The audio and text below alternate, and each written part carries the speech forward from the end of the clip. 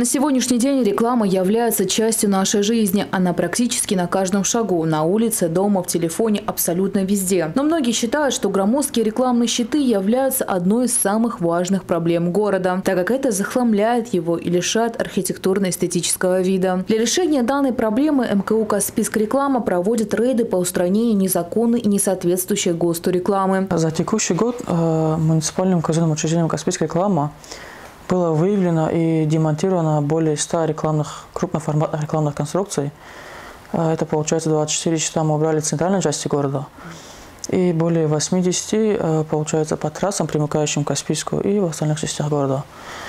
То есть э, для таких работ привлекается специальная техника и квалифицированные специалисты, потому что демонтаж он требует э, соблюдения ряда правил по технике безопасности. Кроме того, организация еженедельно проводятся работы по ликвидации рекламы на заборах частных домов, строительных объектах и столбах. Заместитель руководителя МКУ «Каспийск реклама» Магомед Алиев рассказал о том, какой вред может принести установка незаконной рекламы. Незаконно э, установленная рекламная конструкция, она не только то есть, портит внешний вид города, она может так и наносить вред тоже, потому что, например, при неправильной установке конструкция может э, стать причиной ДТП хочет обзор э, для водителей, э, испортить здание, э, фасад здания. Стоит подчеркнуть, что при размещении рекламных щитов и объявлений нужно придерживаться ГОСТа Российской Федерации, который гласит о том, что реклама должна быть добросовестной и достоверной. Не допускается использование бранных слов, непристойных и оскорбительных образов сравнений и выражений, в том числе в отношении пола, расы, национальности, а также текст рекламы должен быть исключительно на русском языке. Реклама там разных спиртных или курительных там,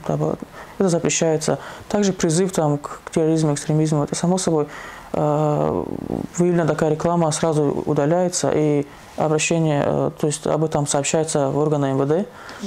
Э, чтобы они приняли тоже меры по этому. В связи с изменениями инфраструктуры города и открытием немалого количества коммерческих объектов, заместитель руководителя МКУ «Каспийск реклама» Магомед Алиев рассказал о планах организации для улучшения внешнего облика города. На сегодняшний день планируется внести изменения в схему и поменять формат конструкции рекламных щитов так, чтобы они не представляли угрозы для граждан.